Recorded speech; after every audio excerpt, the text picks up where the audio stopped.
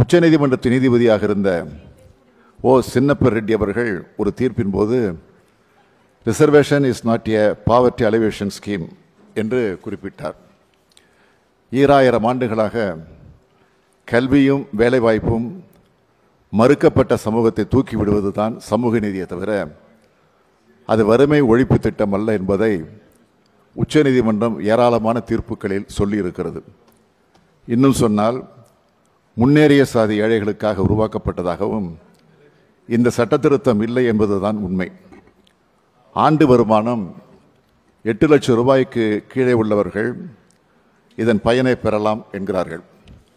அப்படியானால் மாத வருமானம் அறுபத்தாறாயிரத்து அறுநூற்றி அறுபது ரூபாய் பெறுபவர்கள் ஏழைகளா? தினமும் ரெண்டாயிரத்தி இரநூத்தி இருபத்தி ரெண்டு ரூபாய் சம்பாதிப்பவர்கள் ஏழைகளா? அந்த வகையில் பார்த்தால் இதன் நோக்கம் முன்னேறிய சாதி ஏழைகளின் வறுமையை ஒழிப்பதாகவும் இல்லை. ஆண்டு வருமானம் ரெண்டு லட்சத்துக்கும் குறைவானவர்கள் வருமான வரி கட்ட தேவையில்லை என்று சொல்லும் பாஜக அரசு எட்டு லட்சம் சம்பாதிப்பவர்களை ஏழைகள் என்பது எப்படி? கிராமமாக இருந்தால் தினமும் இருபத்தி ஏழு ரூபாயும் நகரமாக இருந்தால் தினமும் முப்பத்தி மூணு ரூபாயும். இதற்கு கீழ் சம்பாதிப்பவர்களை வறுமை கோட்டிற்கு கீழ் இருப்பவர்களாக சொல்கிறது ஒன்றிய அரசு. இந்த மக்களுக்கு எத்தகைய பொருளாதார உதவிகளையும் அரசு வழங்கலாம் யாரும் தடுக்கவில்லை. பிலோ த பாவர்ட்டி லைன் என்று இதனை சொல்லும் அதே அரசு தினமும் ரெண்டாயிரத்தி இரநூத்தி இருபத்தி ரெண்டு ரூபாய் சம்பாதிப்பவர்களை ஏழைகள் என்று சொல்லுகிறது என்றால் இதனை விட கேலி குத்து ஒன்று இருக்க முடியாது. ஐந்து ஏக்கருக்கும் குறைவாக வைத்திருப்பவர்கள் ஆயிரம் சதுரடி நிலத்துக்கும் குறைவாக வைத்திருப்பவர்கள் ஏழைகளாம். இந்த இடத்தில் நாம் கவலைப்படும் வர்க்கம் என்பதும் அடிபட்டு விடுகிறது. என்னை பொறுத்தவரையில் முன்னேறிய சாதி ஏழைகளுக்கான இடஒதுக்கீடு அல்ல இது. முன்னேறிய சாதியருக்கான இடஒதுக்கீடாகத்தான் இதனை சொல்ல வேண்டும். இந்த வகையில் இந்திய அரசியலமைப்பின் நூற்றி மூணாவது திருத்தம் என்பது சமூக நிதிக்கு எதிரானது. அனைத்து ஒடுக்கப்பட்ட மக்களுக்கும் எதிரானது. இந்திய அரசியலமைப்பு சட்டத்துக்கு முரணானது. உச்சநீதிமன்றத்தின் ஒன்பது நீதிபதிகள் கொண்ட அரசியலமைப்பு அமர் அமர்வுக்கும் எதிரானது. ஏழைகளுக்கு எதிரானது என்பதால் நாம் எதிர்க்க வேண்டியதாக உள்ளது.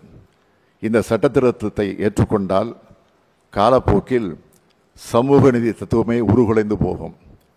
சோஷியலி அண்ட் எஜுகேஷனலி பேக்வேர்ட் என்பதையே பின்னர் எடுத்து விடுவார்கள். எக்கனாமிக்கலி என்பதையே அனைத்துக்கும் கொண்டு வந்து விடுவார்கள். அதனால்தான் நாடாளுமன்றத்தில் நாங்கள் இதனை கடுமையாக எதிர்த்தோம் எதிர்த்து வாக்களித்தோம். உச்சநீதிமன்றத்தில் திராவிட முன்னேற்றக் கழகம் வழக்கு தாக்கல் செய்தது. மிக கடுமையாக எதிர்வாதங்களை வைத்தது. பெரும்பான்மை நீதிபதிகள் தீர்ப்பு வேறாக இருந்தாலும் முழு அமர்வும் இத்திருத்தத்தை ஏற்றுக்கொள்ளவில்லை என்பதையும் கவனிக்க வேண்டும். இந்த நிலையில் சமூக நீதி மண்ணான தமிழ்நாடு சமூக நீதியை காப்பாற்றுவதற்கு உடனடியாக சில செயல்களை செய்தாக வேண்டும். அந்த கடமை தமிழ்நாட்டுக்குத்தான் அதிகம் இருக்கிறது. அந்த அடிப்படையில் தான் தமிழக சட்டமன்ற அரசியல் கட்சி தலைவர்களை இங்கே அழைத்துள்ளோம். தமிழகத்தை பொறுத்தவரையில் தேசிய இயக்கமாக இருந்தாலும் பொது உடைமை இயக்கமாக இருந்தாலும் மற்ற எந்த கொள்கை நோக்கத்தோடு உருவான இயக்கங்களாக இருந்தாலும் சமூக நீதி தத்துவத்தை பொறுத்தவரையில் திராவிட இயக்கத்தின் அடிப்படை கொள்கைகளை ஏற்றுக்கொண்டு ஆதரிக்கும் இயக்கமாகவே கடந்த காலத்தில் செயல்பட்டு வந்துள்ளீர்கள் என்பதை நானும் அறிவேன். இந்த நாட்டு மக்களும் நன்கு அறிவார்கள்.